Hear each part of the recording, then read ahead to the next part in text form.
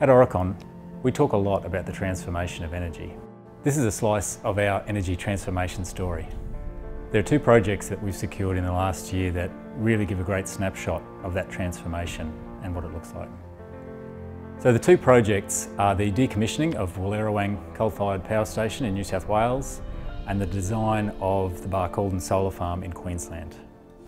These two projects tell a story that encapsulate the career of one man whose relevance and passion has enabled him to stay at the forefront of his industry for over 30 years.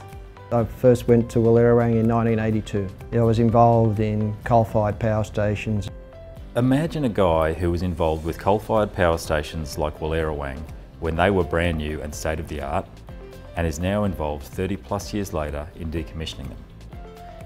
And was also involved in the first wind and solar farms in Australia when they were developed and designed.